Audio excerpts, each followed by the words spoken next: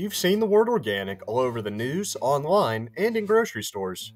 You're probably wondering is organic farming really better than conventional farming? The short answer is yes.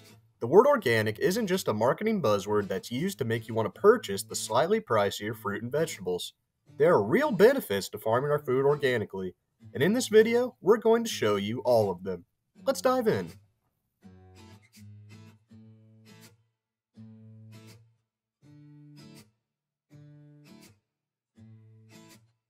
Before we go any further, let's address the big question.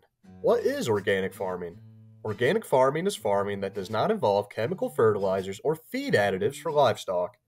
It's all over the news and the internet. Our health and our planet are in pretty bad shape, and conventional farming takes a lot of the blame.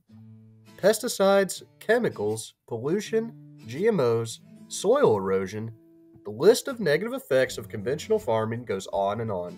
Organic farming is better for you and it's better for the environment. It's no secret that we are experiencing a climate change emergency, and we're all trying to do our bit to help save the environment. One step we can take to make a big difference is the way we farm. There are many reasons why organic farming is a better option for the planet.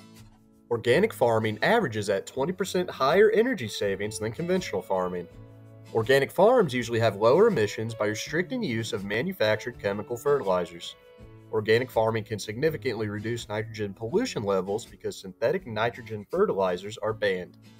Organic soils store more carbon than non organic farms because organic farming is based on taking care of the soil. Organic farming helps to conserve water and keeps our water supplies clean.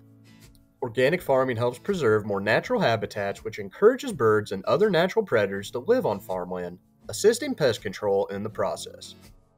In conventional farming, farmers are harmed every year because of the use of pesticides. These dangerous pesticides are not found in organic farming, creating a safer working environment for farmers.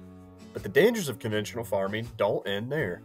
Many farm workers spend years in the field exposed to toxic chemicals, and some studies have reported increased risks of certain types of cancers among farm workers. A shift to organic farming will eliminate these issues. Food that is produced by organic farming is better for consumers. The production of organic food is proven to be better for human health. Organic foods tend to have more beneficial nutrients such as antioxidants than their conventionally grown counterparts. Not only that, but it also ensures that your food is free of GMOs. GMOs can have harmful effects on the human body that science hasn't exactly figured out yet. The European Union has banned GMOs, as have Australia, Japan, the UK, and two dozen other countries. But here in the US, they don't have to be labeled on our food.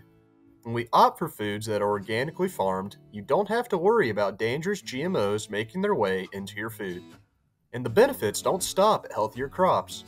Dairy products from animals that are raised organically are typically healthier than conventionally produced dairy products. One study shows that the content of the healthy omega 3 fatty acids and antioxidants were significantly higher in organically produced milk. So, as you can see, pretty much everyone and everything benefits from organic farming. We're United Country Real Estate, your experts in all things lifestyle property. Thanks for watching this video. If you enjoyed it, make sure to subscribe. Thanks again for watching, and stay tuned for the next video.